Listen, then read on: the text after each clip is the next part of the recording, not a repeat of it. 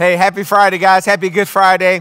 Of course, we want, want you to join us at 12 noon, uh, online only service of our Good Friday service here at Impact Church. Love to have you join us. 12 noon.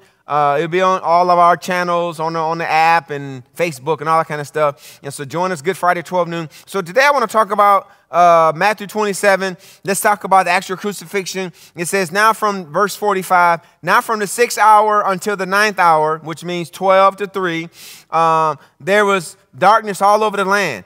And about the ninth hour, Jesus cried out with a loud voice, saying, uh, Eli, Eli, lama sabachthani. That is, my God, my God, why have you forsaken me? Think about it. Jesus had never been out of the presence of God. I mean, we know he came to earth, man, anointed by God, hypostatic union, but this is the first time sin was actually on him. My sin, your sin, the sin of the whole world. And it says in verse 47 and some of those who stood there, when they heard that said, This man is calling for Elijah. Immediately, one of them uh, ran and took a sponge, filled it with sour wine, and put it on a reed and offered it to him to drink. The rest said, Let him alone. Let us see if Elijah will come to save him.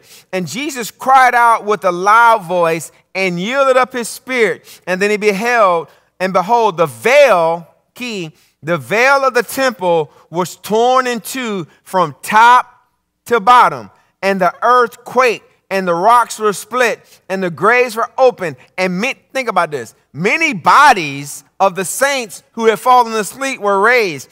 And coming out of the graves after his resurrection, they went into the holy city and appeared to many. And so when the centurion and those with him who were guarding Jesus saw the earthquake and the things that happened had happened, they feared greatly, saying this truly, truly, this was the Son of God. Man, that's a powerful scripture. And so, again, how does this apply to us? How does this apply to us right now in 2024? So, be thankful for Jesus and what he went through on our behalf. Let's be thankful for all that he went through. Thank God he raised from the dead. Thank God he's alive right now. So we can walk in victory today. Let's look back over uh, at Hebrews chapter 9, verse 18 says, Therefore, not even the first covenant was dedicated without blood.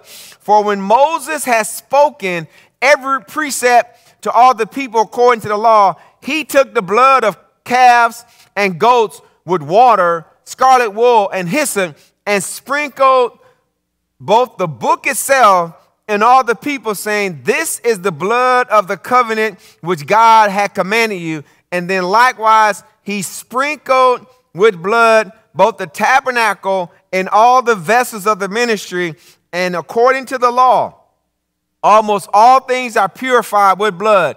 And without the shedding of blood, there is no remission, there's no forgiveness. Now we know this way over in Genesis. Remember when Adam and Eve sinned, when they tried to make those little temporary fig leaves, God had to go get an animal and give them give them skin. Put he had to put, put them in. So blood was shed for that animal for Adam and Eve. And so anytime a person sinned, there had to be some kind of bloodshed. Thank God Jesus did the ultimate bloodshedding for sin for all mankind. And so the new covenant required blood, and we know the old covenant require blood. I know Mark Hankins talks about shedding or sprinkling the blood. That's why we, you know, we don't sprinkle blood with, with actual blood. We sprinkle blood by in the New Testament by declaring the word. We got to speak the word over our lives and, and speak the word over our situation. And so we're going to plead blood everywhere, which means we're speaking God's victory over every situation, over every circumstance. So we're, we're, we're doing what the word says. We're pleading the blood. We're declaring the blood. We're declaring declaring the word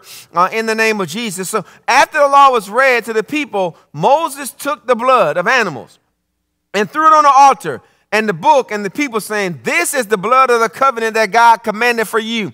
The picture was that of purification so that the people could be brought into a covenant relationship with God as the people declared that they would do all that was written in the law. Remember Joshua we're going to do all that was written in the law.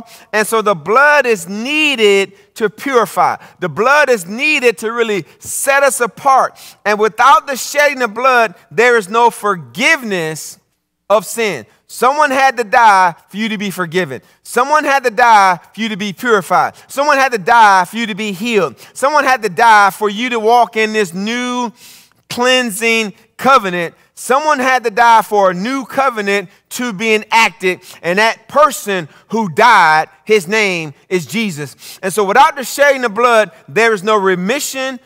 And this is really the foundational principle of God's dealing with man. This covenant relationship we have, it had to be based on the shed blood of Jesus. So modern people think that sin is remitted or forgiven by time. They think time heals. No, no, sin is remitted because of the blood by our good works. No, it's not by your good works, sweetheart. It's, it's forgiven because of the blood, by our decent lives. You're going to live. No, we don't believe in a 51% gospel where your, your good works outweigh your bad works. No, it's you're forgiven because of the blood. And so, or by simply death. Jesus, now because you died don't, doesn't solve everything. You have to make this declaration that you accept Christ. That's what it says in John chapter 11. You got to accept Christ before you go to the grave, that you will live eternally. But there is no forgiveness without the shedding of blood. And there's no perfect forgiveness without a perfect sacrifice. Jesus was the perfect sacrifice. And the shedding of Jesus' blood is God's answer to man's problem of sin. Happy Good Friday, guys.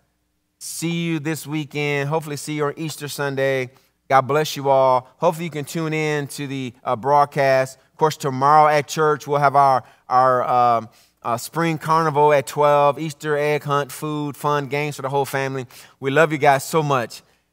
Have a great day. Have a great Friday. Friday. We'll see you Monday on the Faith for Today podcast. Enjoy your weekend. Thank.